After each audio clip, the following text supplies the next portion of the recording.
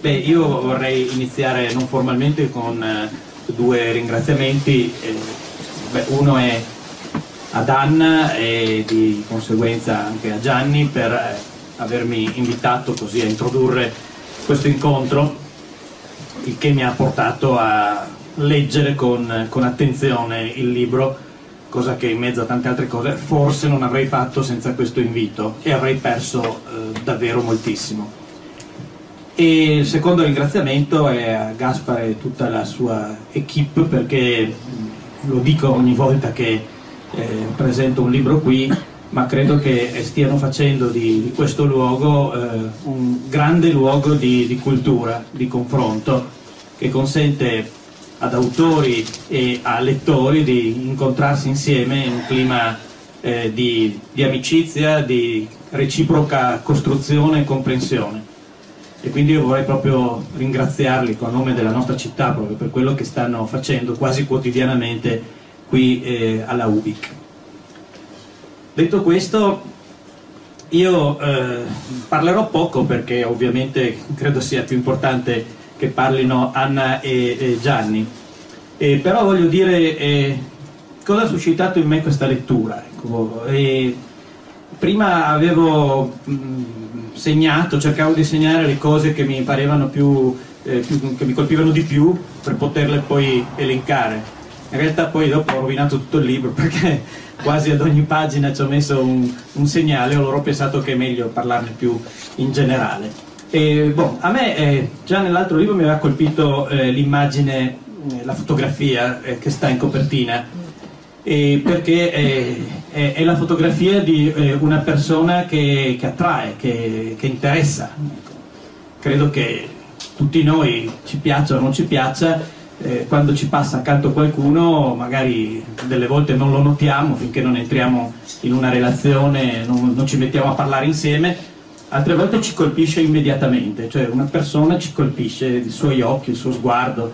Ecco, e così questa fotografia è, mh, mm, mi è sembrata fin dall'inizio come l'immagine di una persona che è, è entrata così direttamente dentro, dentro, la mia vita, e credo dentro la vita eh, di ognuno che, che, la vede. E poi eh, sul momento non avevo molto approfondito, dopo averla vista la prima volta la foto, mi aveva colpito, pensavo si trattasse di di altro e, e, ero incuriosito e finalmente mi è eh, arrivato tra le mani questo, eh, questo libro. Questo libro che, eh, che, ha due caratteristiche secondo me, ne ha tante, ma due eh, essenziali. Eh, la prima è eh, di essere un libro enormemente documentato e coi tempi che corrono non capita purtroppo spesso di trovarsi tra le mani eh, un testo affidato non a studiosi, non a ricercatori, ma a persone che vivono ordinariamente la propria vita anche in altre professioni, non hanno il tempo di poter andare a consultare dei documenti perché fanno altro, perché non è il loro mestiere. Ecco, un libro che invece proprio a queste persone racconta una storia documentata, cioè non c'è una pagina di questo libro che non sia supportata da documenti. Questa eh, si chiama eh, ricerca storica, questa si chiama scienza ed è eh, una questione che eh, secondo me è importante perché eh, nel nostro tempo credo che uno dei drammi, uno dei tanti drammi, sia quello di sparare le cose senza documentarle, cioè di eh, vivere costantemente eh, nella superficialità, per cui la prima cosa che passa per la testa ad uno è di dire quello che gli passa per la testa o di raccontare quello che ha sentito per la strada, che ha sentito bevendo il caffè, presentando tutto come assoluta verità, salvo poi smentirsi subito dopo dicendo non è vero, non avevo detto questo. La storia si fa attraverso i documenti, non, non c'è niente da fare, la scienza eh, ci fa crescere attraverso i documenti. Quindi questo è anzitutto un libro di storia, cioè ci racconta la storia di una persona e attorno alla storia di questa persona ci racconta la storia di eh, molti decenni del Novecento, del XX secolo. E attorno a questa figura vediamo dipanarsi eh, le grandi problematiche che hanno interessato la nostra terra, ma anche la terra d'Europa, direi anche il mondo, eh, da prima della seconda guerra mondiale fino praticamente quasi ai giorni nostri, a pochi anni dopo, a eventi così a cui tutti abbiamo partecipato e che ricordiamo, come ad esempio il terremoto del Friuli o altre situazioni che eh, Ondina e tutti noi abbiamo vissuto. Ma seco la seconda caratteristica, e questo lo dico così perché eh, vorrei invogliare chi non lo ha ancora fatto proprio a leggerlo, eh, è che è scritto bene, cioè si legge come un romanzo. Eh, è un libro di storia stradocumentato che segue quindi tutti i crismi della ricerca storica, ma è anche un libro scritto in modo tale che chi inizia a leggerlo poi non riesce più a staccarsi. È uno di quei libri che creano il problema di, di, uno che magari il giorno dopo ha da fare qualcosa che richiede concentrazione e la sera prima si mette a leggerlo e poi non riesce a staccarsi fino a quando eh, non, non, lo ha completato. È un libro affascinante, attraente, coinvolgente. Ecco, questa è la prima cosa che io volevo dire. Quindi un libro di storia, ma anche un libro eh, che, che, che si legge estremamente volentieri. Seconda cosa che volevo dire, eh, seconda ma, ma, non seconda per importanza, eh, io mh, sono rimasto affascinato da questa figura di Ondina Peteani, ma veramente affascinato,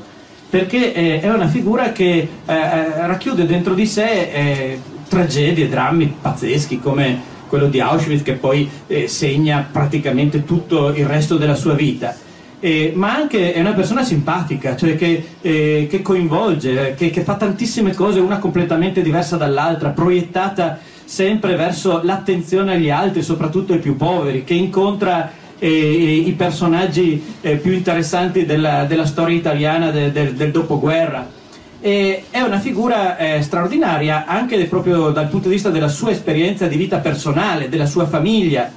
Eh, prima eh, quando siamo entrati così si, si, si diceva, eh, qualcuno diceva una figura demodé, fu fuori dalla, dalla storia che, che, ci pare di vivere. Io invece dico, e lo dico con convinzione, secondo me è una figura pre-modé, cioè è, è un prima di quello che un giorno sarà, è un prima di quello che anche la nostra società eh, vivrà eh, questa grande libertà, cioè questa capacità di vivere le grandi conquiste del, dell'umanità eh, contemporanea, i diritti dell'uomo, eh, la libertà, l'uguaglianza, le, le, le, idee della rivoluzione francese, di viverle sulla propria carne, ma nello stesso tempo di schierarsi, di stare da una parte, di non avere paura, di dire io sto da questa parte nella lotta partigiana, arrivando fino a rischiare l'esistenza eh, ad Auschwitz, successivamente nelle file del Partito Comunista, poi eh, nelle scelte drammatiche che si sono eh, dovute verificare successivamente ne, nella grande evoluzione del, del comunismo italiano, eh, nell'incontro per esempio con figure eh, non certamente dell'area del mondo comunista come Don Milani e, e, con un'attenzione profonda a tutto ciò che si svolgeva all'interno della società italiana, sempre pronta a scendere in campo eh, scegliendo una parte fino appunto al terremoto del Friuli, di cui lei sente parlare perché eh, sente il terremoto, poi legge che cos'è accaduto e immediatamente corre per poter eh, portare anche lì il proprio aiuto, il proprio contributo. Eh, scegliendo sempre, appunto, come direbbe Don Milani, di stare dalla parte dell'ultimo. a volte capita, a volte non capita, come capita a chiunque fa questo tipo di scelta. Quindi una figura affascinante eh, dentro la sua grande sofferenza e dentro però anche la sua capacità di vivere eh, una vita autenticamente umana e piena. Ecco, non c'è una pagina che non trabocchi di umanità e, e trabocca di umanità anche perché di lei ne parlano persone che hanno a lei voluto bene e che dicono delle cose che nascono da una relazione profonda, da un confronto con lei che non è eh, semplicemente formale, racconto al, allo storico, ma è un racconto che nasce, che scaturisce dal cuore. Terza e ultima cosa è che eh, alcuni aspetti del, del racconto eh, sono veramente interessanti e innovativi, insomma, anche eh, al di là del, delle questioni eh, della seconda guerra mondiale e il, la, il tremendo, la tremenda storia di Auschwitz che eh, viene anche sottolineata in una delle due eh, prefazioni da eh, Liliana Segre, eh, al di là della sua eh, capacità di, di, di, essere sempre eh, dentro le lotte, eh, prima la lotta partigiana, poi le lotte operaie, anche questa segnalata con forza dall'altra prefazione di Don Andrea Gallo, ci sono alcuni aspetti ecco, curiosi, ecco, io uno volevo segnalarlo, ed era quando Ondina portava con sé i ragazzi a fare i campi di lavoro eh, nella Germania Est. E, e, e, questa parte l'ho trovata interessante per, per, per, un motivo di come si legge la storia. Ecco, la Germania Est nella quale andava Ondina con questi ragazzi era la Germania Est che qui in Italia veniva presentata negli anni 60 eh, come eh, l'impero del male, cioè l'avamposto dell'impero del male, dove la situazione era terribile, voleva dire entrare in un gelo assoluto di relazioni, di rapporti, e si pensava che oltre il muro, quel famoso muro, ci fosse il nulla, il deserto dei tartari e, e, che di là non si conoscesse nulla di quello che accadeva di qua perché non c'era l'informazione e via dicendo. Il racconto di quei campi scuola in realtà è molto arguto, divertente e parla invece di eh, incontri tra ragazzi, di, proprio come fanno i, i, ragazzi ad incontrarsi, giocando, scherzando, eh, raccontandosi la loro vita e ad esempio sulla questione dello sbarco eh, sulla Luna, di cui qua si diceva loro neppure hanno saputo che c'è stato lo sbarco sulla Luna, c'è il racconto eh, di come a questo campo scuola eh, tutti si trovano eh, nella differita del giorno dopo a vedere eh, il LEM che scende sulla Luna adesso, tenendo il sospiro per questo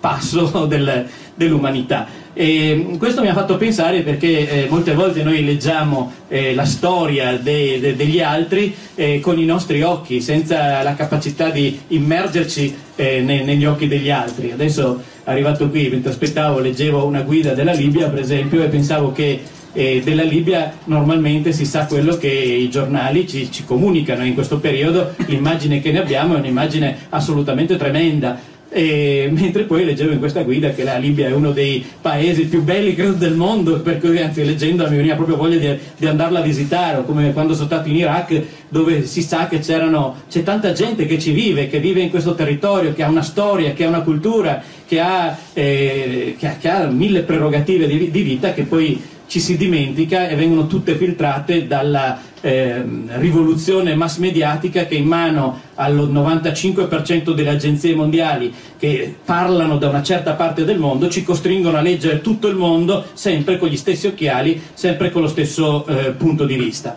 Ed è per questo e concludo che eh, a mio parere Ondina Peteani è una donna del futuro e non una donna del passato, perché e quello che lei scrive mi ha fatto venire voglia di ulteriormente, di più, eh, di lottare perché l'umanità di domani possa essere eh, l'umanità di Ondina, cioè di persone che magari non vivendo situazioni terribili e drammatiche come è stata costretta a vivere lei, possano vivere però pienamente nella libertà e nel desiderio di far sì che il diritto alla vita, il diritto alla legalità sia veramente un diritto che garantisce tutti, soprattutto i più poveri e gli ultimi, e che sia questo l'impegno che ci possa portare tutti insieme a costruire questo mondo nuovo per il quale io direi eh, Ondina Peteani ha dato tutta la sua vita.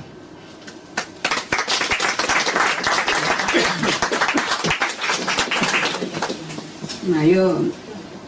insomma, ringrazio, ringrazio, molto Andrea per la sua, per la sua introduzione che mi ha veramente commosso. Ringrazio voi e veramente molto anche la libreria Ubic che è sempre così disponibile e attenta anche a queste uscite editoriali. Ma io volevo ringraziare Andrea soprattutto per, per una cosa, quando ha sottolineato che il libro è leggibile. In realtà, ecco, questa questa questione del linguaggio, del, del come si scrive una vita è eh, un problema su cui ho riflettuto moltissimo. Eh, come dire, la cosa che volevo era da un lato eh, non usare quel linguaggio storico che allontani i lettori, perché c'è poco da dire, molti saggi storici sono eh, talvolta pesanti da leggere e scoraggiano eh, colui che non è proprio un appassionato o uno studioso di storia. E, e quindi c'è una necessità di divulgazione della storia. C'è anche un uso della divulgazione, a mio avviso, fatto molto male, fatto cercando di incontrare i gusti più bassi della gente. Quindi trovare un linguaggio che potesse essere accattivante ma nello stesso tempo rigoroso è una cosa che ha portato via moltissimo tempo, ecco, trovare la cifra giusta non è stato assolutamente facile. E, ehm, e inoltre io volevo eh, non assumere quell'aria fintamente distaccata degli storici, perché sappiamo che il distacco degli storici dalla loro materia è mera ipocrisia, sono tutti dentro fino al collo e io credo che la storia sia veramente un campo di battaglia eh, sempre pronto ad esplodere, come si vede insomma a seconda dei corsi e ricorsi storici. Quindi non eh, assumere questa finta e falsa neutralità, ma parteggiare decisamente per Ondina, eh, però eh, cercando di dare un'idea di complessità, insomma, di quello che lei ha provato e del modo con cui è stata al mondo. E qua mi è venuta in aiuto quella che ormai chiamo l'etica del soffritto, che mi è venuta proprio da, da Ondina. Eh, leggendo la sua intervista mi ha colpito moltissimo una cosa, lei eh, da un certo punto in poi ha cominciato ad andare invitata come testimone, come fanno ancora pochi purtroppo eh, testimoni della deportazione che vanno appunto nelle scuole, lei andava nelle scuole e dopo aver parlato di questi aspetti drammatici, commoventi, eccetera, terminava dicendo ah, abbiamo tanto soffritto e con questo immediatamente sdrammatizzava tutto quanto. E io mi sono interrogata molto su questo suo modo ironico di porre le cose, cioè che cosa fosse in realtà l'ironia. E mi sono resa conto che Freud, molti psicanalisti danno dell'ironia eh, così una valutazione abbastanza negativa, cioè dicono l'ironia è una forma malcelata di aggressività. E effettivamente è anche vero, insomma, la battuta caustica che proprio ti piega in due è una forma di aggressività nemmeno tanto trattenuta. Però io credo che l'ironia sia anche uno dei pochi modi che abbiamo di eh, far percepire all'altro che la realtà non è unidirezionale, che c'è, che si soffre ma c'è anche il soffritto e che la vita si muove in questi due estremi in qualche modo, anzi è molto variegata e molto complessa. E, ehm, e in questo modo, tra l'altro, parlando del soffritto, Ondina mi ha fatto capire un'altra cosa che per me è stata fondamentale. È stata una donna che ha subito molte oppressioni, questo è indubbio, ma non è mai stata una vittima. Tra l'oppresso e la vittima veramente c'è un mondo io questo l'ho capito studiando proprio la sua storia, cioè si può eh, subire eh, violenza, coercizione, ingiustizia però si può leggere e vivere la propria storia da protagonisti comunque. E lei ha fatto esattamente questo. Lei è stata un soggetto, lei è stata una donna che ha scelto eh, subito e tra l'altro ha scelto molto giovane, già a 14 anni. Questo la dice lunga, tra i 14 e i 18 anni, io sono convinta di questo, la vita di un individuo viene a compimento. Poi le scelte si raffinano, diventano più, così, più serie, più maturate, ma sicuramente il periodo dei 14 ai 20 anni è un periodo decisivo ed è bene anche tenere fede alle scelte fatte da giovane perché generalmente sono quelle più valide. Quindi Ondina è, non è mai stata una vittima, è sempre stata una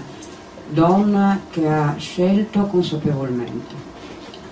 Qui apro una parentesi, io ci tengo molto a questa cosa della scelta consapevole, perché il ruolo della donna eh, nella resistenza è sempre stato visto, secondo me, in modo molto, molto eh, mortificante per le donne. Allora, ci sono tre cose che mi sono venute in mente. Uno, durante la liberazione, cioè immediatamente dopo la liberazione, l'impedimento in molte città a che le donne sfilassero in armi con i partigiani. Alle donne è stato impedito dagli stessi partigiani di, di marciare con le armi perché era disdicevole far vedere che uomini e donne fossero assieme in montagna e le donne pure armate. Successivamente, eh, nel, nell'immediato primo dopoguerra, è venuta avanti questa, questa accezione del contributo femminile alla lotta di liberazione, che è una cosa assolutamente sbagliata perché non tiene conto di quello che hanno fatto realmente le donne, e cioè un'attività che non era di supporto, ma era un'attività essenziale per la lotta partigiana, cioè una lotta di quel tipo senza l'apporto eh, sul terreno, così si chiamava in città, nei paesi, delle donne, non sarebbe sopravvissuta neanche un mese. Chiunque conosca appunto la lotta popolare, la guerriglia, sa benissimo che senza eh, l'aiuto eh, della gente che in città raccoglie soldi, viveri, medicinali, porta informazioni, eh, trasmette le direttive, in montagna non si riesce a fare assolutamente nulla. Quindi le donne non hanno dato un contributo, ma sono state parte integrante. Ultimamente ecco, è venuta fuori un'altra nouvelle vague storica che è quella della eravamo giovani inconsapevoli Ora, eh, come giustamente ricordo Undina, erano giovani, sì, ma niente affatto inconsapevoli, perché ehm, eh, il fascismo e eh, l'inizio della resistenza nel nostro territorio, che data 1941, per quello Undina Petriani è la prima staffetta partigiana d'Italia, è eh, una lotta diciamo, che immediatamente si fa dura. Ecco, non, non, eh, non, non c'è bisogno di aspettare eh, l'occupazione dei tedeschi di questo territorio, ma da subito, dal 1942, l'ispettorato speciale di pubblica sicurezza comincia a eh, perseguitare, incarcerare, torturare i partigiani in posti anche raffazzonati, caserme dei carabinieri, eh, caserme di militari, posti di polizia, quindi una struttura del fascismo che funziona prima dell'occupazione e funzionerà anche dopo, estremamente che si va facendo sempre più efficace ed efficiente nel perseguire, nel, nel prendere, nel catturare, nel far parlare i partigiani. Quindi una struttura dove inevitabilmente l'uso della tortura è una cosa normale, perché altrimenti non si possono eh, catturare i partigiani, perché nessuno li sa distinguere. Quindi eh, le persone eh, dei paesi Ronchi, eh, Re di Puglia, Fogliano, San Canziano, del Monfalconese, sanno benissimo che cos'è l'ispettorato speciale e sanno i metodi che vengono usati. Quindi se scelgono di fare la lotta partigiana di opporsi al fascismo lo fanno a ragion veduta. È chiaro che lo fanno anche con un certo entusiasmo dei 14, 15, 16 anni. Ondina nasce a Trieste, si trasferisce a Vermigliano, eh, la sua storia è una storia operaia, lei eh, va a lavorare nei cantieri di Monfalcone, i cantieri di Monfalcone sono l'università della politica, come dicevano alcuni cantierini, e, mm, e comincia quindi questo apprendistato in fabbrica e in quella famiglia eh, speciale e incredibile che è la famiglia Fontanot di Ronchi dei Legionari che adesso stiamo finalmente studiando e che ha una vicenda ricchissima. Lì eh, inizia facendo il soccorso rosso e poi inizia con Mario Caris la vera e propria attività partigiana. E viene, come dire, viene eh, incarcerata eh, una prima volta nel luglio del 43 con tutto Ronchi, tutto Vermigliano e poi una seconda volta definitiva eh, nel,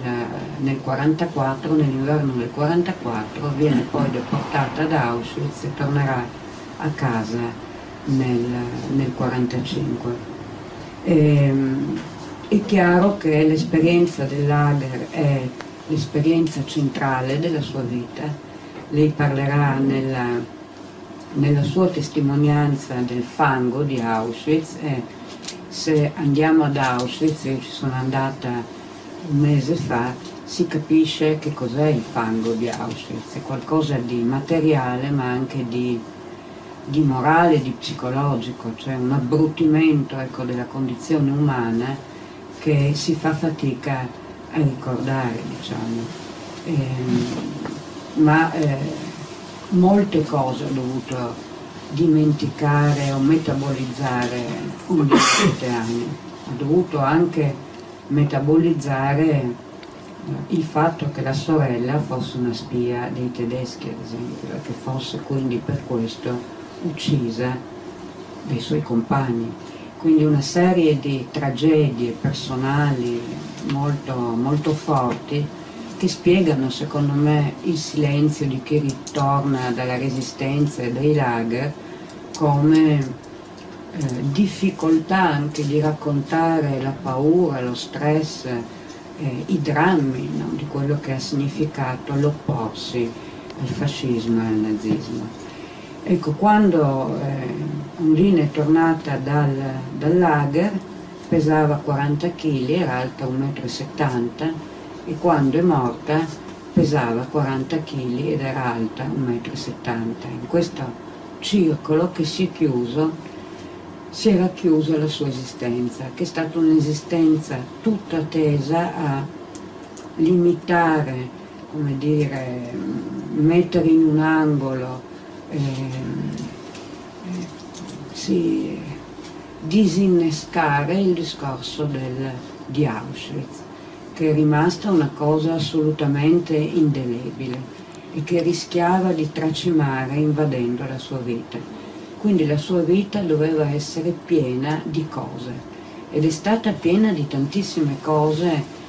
molto piacevoli anche la, eh, il lavoro che ha fatto. Lei era uscita dal lager mh, devastata anche fisicamente, per cui non ha potuto avere figli, quindi l'adozione di Gianni, una vita felice con eh, Gianluigi Brusadin, che era giornalista amico di Tina Merlino, tra l'altro, una vita professionale ed ostetrica, proprio lei che non poteva avere figli aiutava eh, le amiche a partorire in casa poi una vita di libraia, organizzatrice culturale, eh, in questo straordinario posto che è stata la libreria degli editori riuniti, che era un posto di cultura, di dibattito, di discussioni, e poi via via le attività che ha fatto durante il terremoto. E, e questa centrale, con questo chiudo, ehm, per soffermarmi su quest'ultimo aspetto, ecco, sull'importanza della memoria, cioè il fatto che ehm, la storia si dipane attraverso la vita di una persona è un fatto del tutto naturale, cioè la vita degli individui e la storia non sono due cose antitetiche, ma sono due cose strettamente intrecciate al punto che, come dicono molti storici, è praticamente impossibile distinguere in noi quello che è storico da quello che è individuale, anzi molto più quello che abbiamo di storico che ciò che abbiamo di individuale, dicono i più estremisti. Comunque sono due aspetti assolutamente intrecciati, quindi i documenti si saldano con, con la vita degli individui ed è molto importante raccogliere le memorie perché le memorie sono però più leggibili, più eh, utilizzabili per esempio dal punto di vista didattico. Sulla questione di quello che lei ha fatto giovani eh, si, si è aperto un capitolo, cioè lei a un certo punto per dare una compagnia buona a Gianni,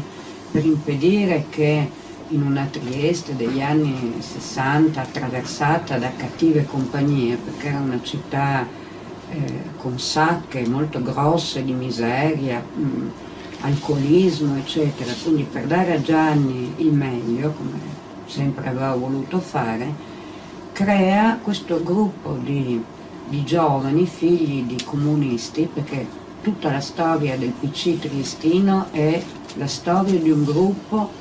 che autosufficiente dove dall'ostetrica al falegname all'elettricista al medico all'intellettuale tutto si trova lì. Cioè non si va a cercare fuori nel PC c'è tutto e si vive dentro il PC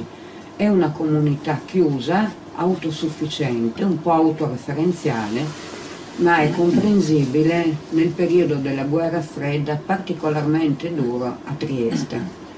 Quindi si vive assieme.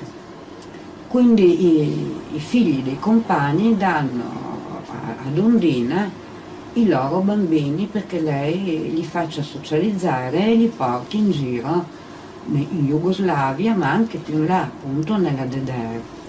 affrontando lei da sola con un bel numero di ragazzini imprevisti, accidenti, viaggi, problemi di ogni tipo, campeggi, facendo da mangiare lavando i piatti, insomma affrontando fatiche eh, inenarrabili e anche a responsabilità inenarrabili, però queste persone si fidavano di lei e quindi incrociando le dita davano anche questi bambini. Ora, cosa può risultare più come dire, massificante, ideologicamente conformista dei pionieri del Partito Comunista Italiano? Se uno sente adesso ha in mente gente telecomandata con la chiavetta dietro, eppure tutte queste persone che io ho intervistato hanno descritto questa loro adolescenza come un'adolescenza di estrema libertà, in cui le, si stava ragazzi e ragazze, ehm, i lavori erano divisi, si fuggiva da Ondina che era sola guadagnando grandi spazi di libertà, si fumavano le prime sigarette, si scambiavano con quelli dell'est i blue jeans a prezzi inenarrabili, insomma un'esperienza di grandissima libertà. Senza la memoria sua questo non sarebbe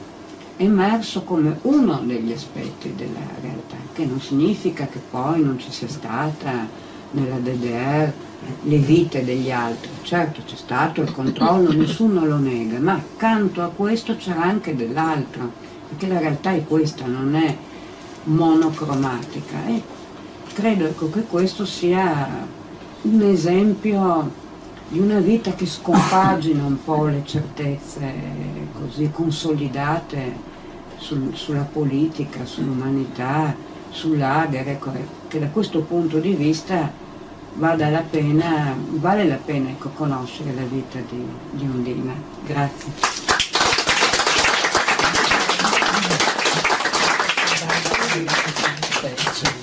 Buonasera a tutti, grazie di essere così numerosi, complimenti per la bellissima libreria che non conoscevo, grazie al titolare, grazie ad Andrea che nemmeno conoscevo, che ha speso parole bellissime, grazie a Anna con la quale è iniziata questa collaborazione. Questa, la storia, il backstage di questo libro è abbastanza articolato e complesso. Nasce da una scelta, da una scelta che mi sono trovato individualmente dinanzi eh, alla scomparsa di mia madre, ossia lasciare terminare un, un momento di grande difficoltà protrattosi non poco ma quasi 12 anni è stata la sua malattia eh, all'apice la bombola d'ossigeno che la bloccava a casa per cui una sorta di tigre in gabbia proprio accompagnarla tentando eh, in tutti i modi di farla sopravvivere alla depressione nervosa che dopo la scomparsa di eh, mia madre l'aveva di, sì, di mio padre l'aveva riportata in basso dopo il primo esito del 1975 e insomma si chiudeva per me una fase abbastanza complessa, delicata e dura. Stato, c'è voluto poco per comprendere che questo avrebbe assolutamente portato a dispersione e per questo la, l'avvenimento dell'incontro con Anna di Gian Antonio è stato per me, eh, ha corrisposto con una scoperta, una scoperta di chi fosse realmente mia madre, ovviamente mia madre si è sempre espressa in tutta la vita con me, in tutta la vita in famiglia, con i miei amici e con tutta la collateralità molto aperta di una sorta di grande casa comune in maniera informale e quanto mai diretta sui suoi pregressi, non era una, non era una novità per me nemmeno la deportazione, cosa che venne a sapere da quando ho memoria la sua lotta partigiana, però tutto quanto era misurato ed espresso ovviamente con, primo con pudore, secondo con riservatezza, in maniera schiva come sempre, eh, come era sempre di rigore nel suo, nel suo ruolo anche di madre, e tralasciando appunto tutta una gamma, e che ho scoperto dopo infinita, di pesanti malesseri legata ovviamente in primo all'esperienza dura del lager. Per cui questi 12 anni di malattia a contatto, mio padre non c'era più, noi parenti a Trieste non avevamo, mi sono trovato a um, sorreggerne le sorti. Via via la malattia, come qualsiasi eh, evento patologico, non migliora, ma in parallelo con l'età che avanza peggiora i freni inibitori cominciano a essere più labili e deboli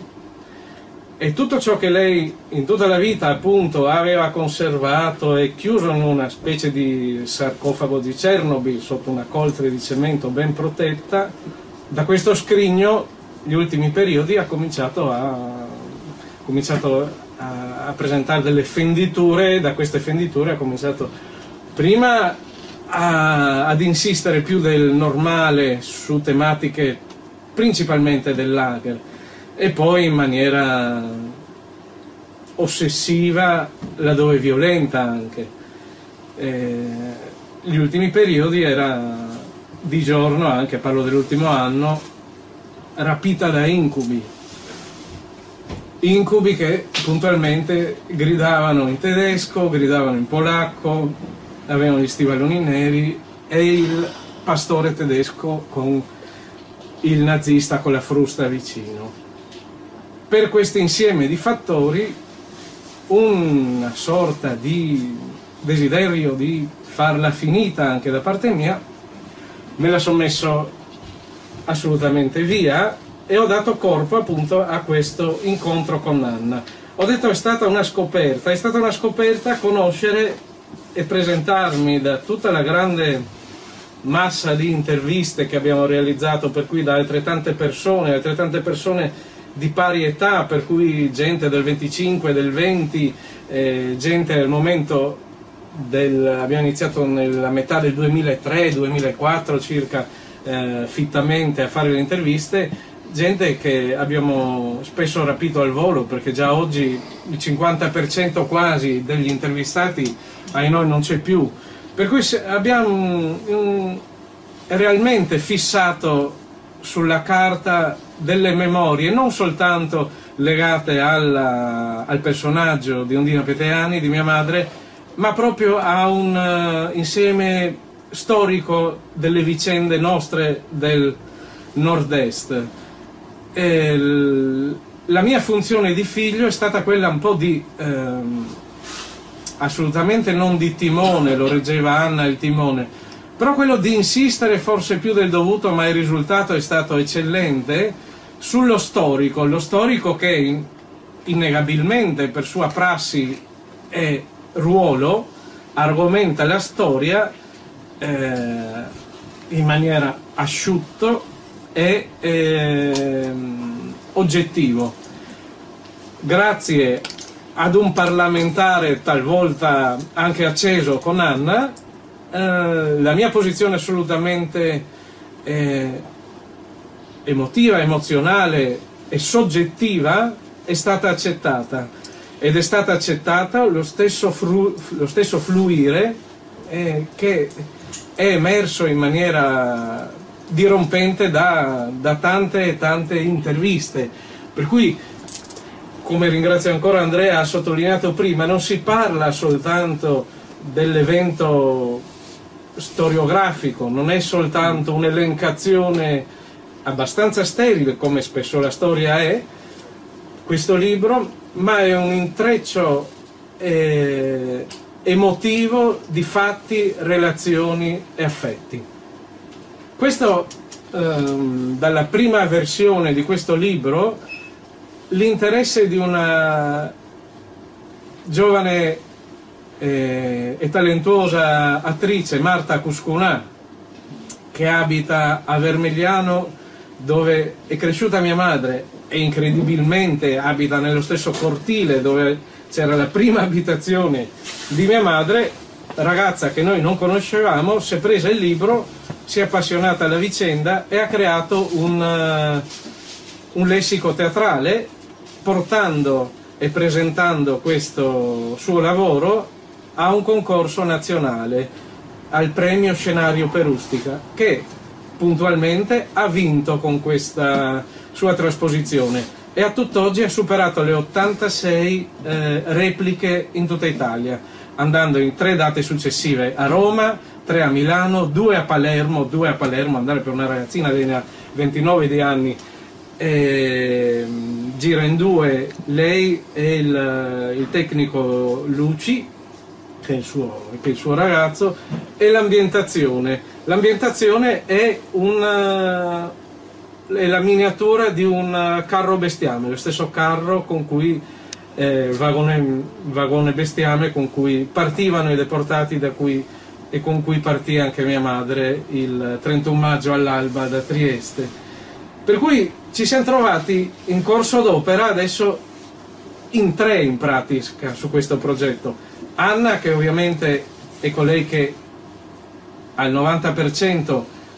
ha prodotto questo libro in maniera assolutamente congeniale alle vicende.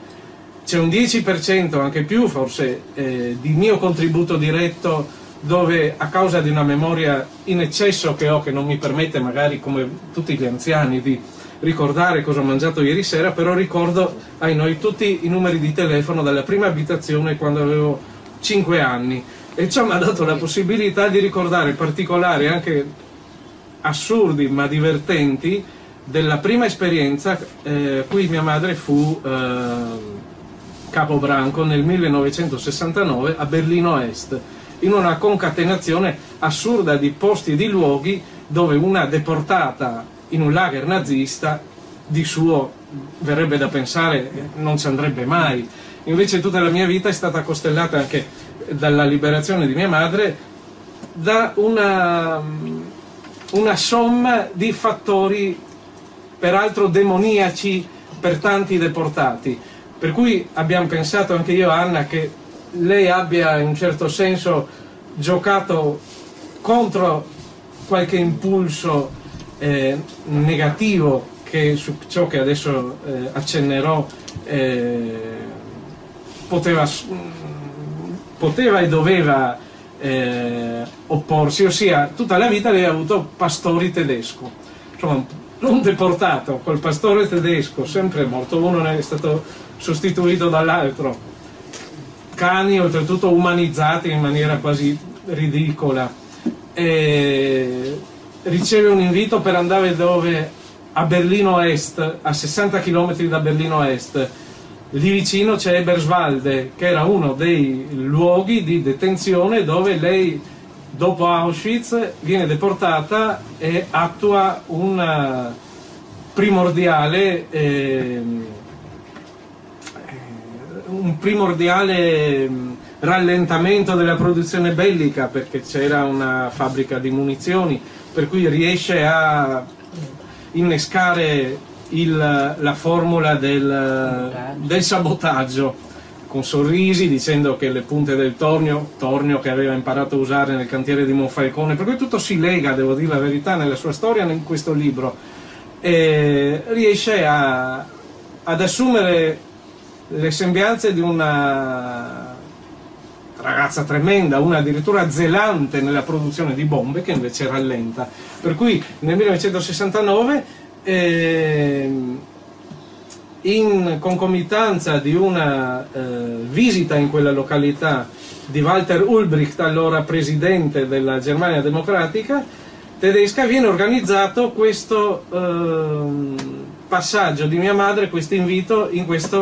in questa postazione, in questo lager. Ulbricht in quel periodo eh, deve cambiare rotta, ci sono le ultime settimane di vita di Ho Chi Minh e parte per il Vietnam, ovviamente non c'è questo incontro che sarebbe stato Ehm, quasi paradossale, e, però è la prima volta che lei entra in un suo, diremo, lager. Non ha mai voluto eh, ritornarci in nessuno dei tre che l'hanno trovata coattamente prigioniera a Auschwitz, Eberswalde appunto e Ravensbrück. Qui si è trovata, si è trovata e, e con, grande, con grande emozione ha affrontato e con nessuna voglia questo incontro davanti alle maestranze e tutto quanto, con la pompa logicamente consona a un regime eh, che dava il meglio di sé in qualità di eh, esibizione di una funzionalità assoluta. Complessivamente ehm, l'esperienza di questo libro mi ha portato a conoscere eh, quanto lei eh, non mi abbia raccontato e quanto eh, peso e, e difficoltà per lei l'esperienza della resistenza che lei per prima eh, riassume con eh, una definizione di complessivo e straordinario entusiasmo, sia stata così, però sia stato un momento di atroce sofferenza, atroce sofferenza sua familiare, appunto la, mm,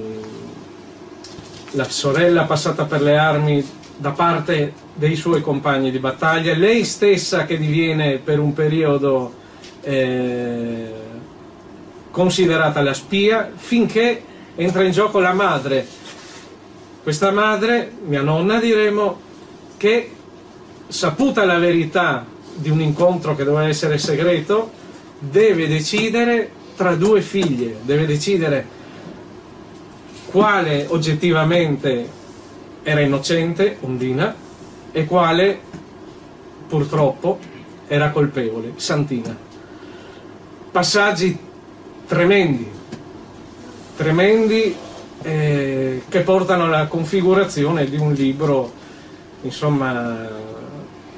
che possiamo definire come minimo tosto, però anche divertente perché appunto dopo avervi detto tutte queste cose abbastanza severe, devo dire che mia madre era una persona assolutamente divertente, fuori dagli schemi, originale, controtendenza e controcorrente e certamente a tutt'oggi eh, spassionatamente moderna. Grazie.